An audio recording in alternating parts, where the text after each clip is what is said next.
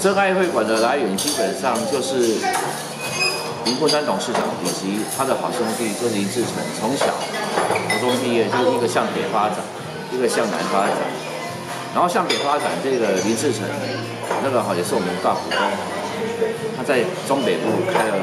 真爱会馆连锁店。然后小尊小尊会馆呢是由林昆山创立，好，那基于我们。小尊日本料理向上发展之后，我们把它扩大之后，我们就跟林志成董事长说了哈，就是把小猪那个真爱会馆把它串联起来。所以说目前来讲的话，